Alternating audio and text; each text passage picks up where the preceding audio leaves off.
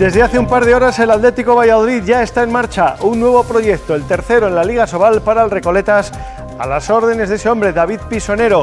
Es la primera vez en la historia del club, en sus cinco años de vida, que en el arranque de temporada no están ni Fernando Hernández en la pista, ni Nacho González en el banquillo. Los tiempos cambian.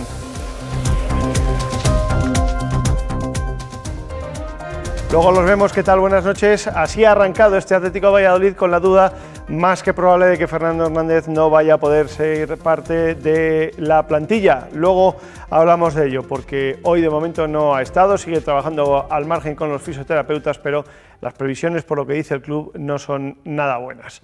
Pero vamos a comenzar hablando de fútbol porque esta tarde me hemos visto entrenar en Zaratán, donde va a estar toda la semana el Real Valladolid, a esos dos hombres, a Keco, que ha sido presentado esta mañana, y a Ibi, que lo será presentado mañana a las 12 del mediodía, después del entrenamiento en el estadio José Zorrilla.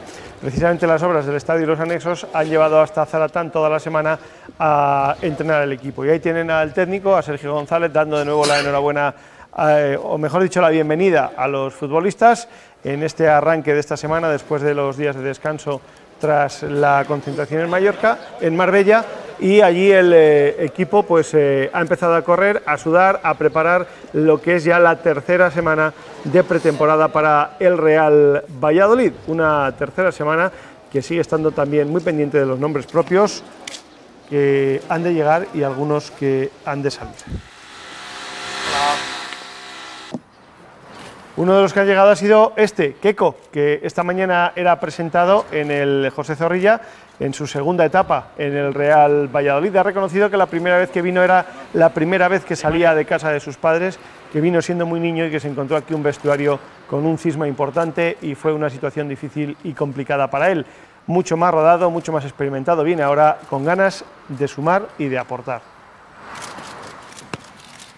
Yo vine con, con la liga ya empezada y con una serie de, resultados que, que, bueno, que eran negativos y que, y que ya había eh, cierto, cierto cisma aquí en, en el club y tal, y, y, bueno, no era una situación fácil de vivir. El equipo vuelve a primera y necesita jugadores con hambre y yo necesitaba eh, también resetear mis ideas, mi cabeza y, empezar de cero todos. Me lo estás diciendo como cuando Manucho en aquel año, ¿no? cuando prometió los 40 goles. Si te prometo algo, te estaría vendiendo una moto y, yo venía aquí para jugar al fútbol, no para vender motos. Lo único que te puedo prometer es que yo me voy a dejar todo por esta camiseta. Eh, luego, mm, prometerte resultados son cosas que, no controlamos los futbolistas y bueno, yo por mi parte prefiero no, no prometer nada. Bueno, pues Cauto no ha querido prometer nada y mucho menos que haya equívocos como con aquella ocasión de Manucho.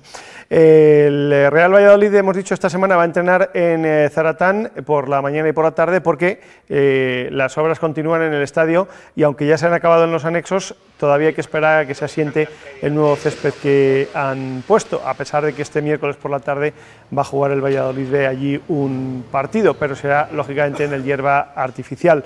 Esta mañana hemos pasado por el estadio, hemos podido ver cómo están las obras y de momento lo que podemos ver es esto que les mostramos, el terreno completamente levantado, se va a poner eh, un nuevo drenaje, también eh, un nuevo sistema de riego y encima se colocarán los nuevos TEPEX para que esta temporada el Real Valladolid pueda disfrutar de un buen césped a la altura de la primera división.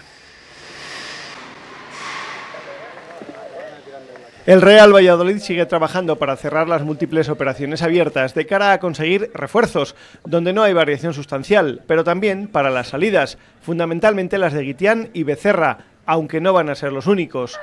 En el caso de Becerra, el club busca una operación que sea beneficiosa para el jugador y también para el Real Valladolid. Isa está en una situación donde a día de hoy lo quieren muchísimos equipos, sobre todo, evidentemente, obviamente, de donde él donde él ha, obtenido sus títulos de mejor, mejor portero de segunda división y bueno, tiene varias cosas y bueno, estamos viendo también cómo ayudarlo a él sin que nosotros salgamos perjudicados.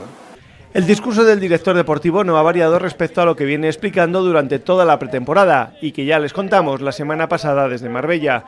Es muy posible que la plantilla no esté cerrada para las dos primeras jornadas de liga.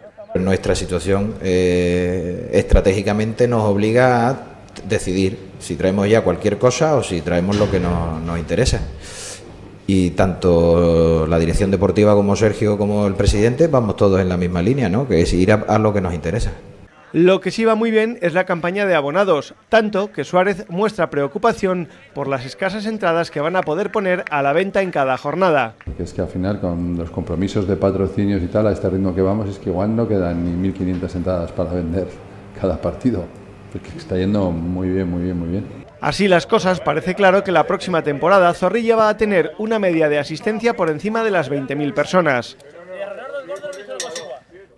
Volvemos a Huerta del Rey, donde abríamos este espacio informativo de deportes para hablar del Atlético Valladolid Recoletas, que esta tarde se ha puesto en marcha hace apenas un par de horas. El eh, nuevo proyecto afronta esa tercera temporada en la Liga Asobal, una competición que cada año crece un poquito más, que este año eh, tiene equipos de la zona media que han dado un paso hacia adelante, con lo cual parece que agrandan un poco la distancia con aquellos que pretenden lograr la permanencia y vamos a ver dónde se adapta, dónde se afinca este Atlético Valladolid Recoletas, si en esa zona media o entre los que van a pasar apuros por lograr la permanencia.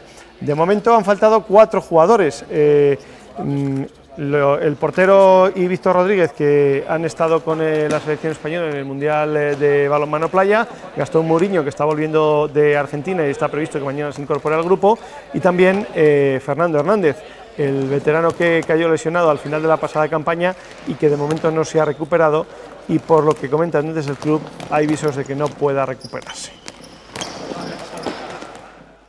que hemos cambiado en el fondo, pero, pero en la forma, ¿no? Al final los cambios han sido eh, no retoques, pero sí es verdad que hemos rejuvenecido muchísimo ¿no? la plantilla y eso es un riesgo que estamos asumiendo todos, claro que sí. Pues de momento sí, sí, Fernando, y ya como he venido comentando durante todo este tiempo de parón, es, va, a ser muy complicado, ¿no? De hecho está mano ahí para intentar solventar esos minutillos ¿no? que, el año pasado al final tuvimos que, que echar mano de Miguel y una persona que nos dio minutos, pero, pero esperamos que Manu, con, con, esa proyección, esa calidad y muchísimo más específico en el puesto, pueda suplir eso. ¿no?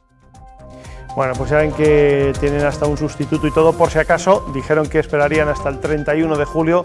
Eso es mañana. Vamos a ver a partir de esa fecha qué dicen oficialmente en el Atlético Valladolid Recoletas y qué sabemos de Fernando Hernández y cuáles son sus sensaciones de cara a esa posible recuperación. Por cierto, que esta semana también arranca el balonmano Aura Cultural con su nuevo proyecto. Les hablaremos de ello, lógicamente, también. Aquí lo dejamos. Volvemos con más deportes en la 8 de Valladolid. Mañana a mediodía con Eduardo Blanco. Adiós, buenas noches.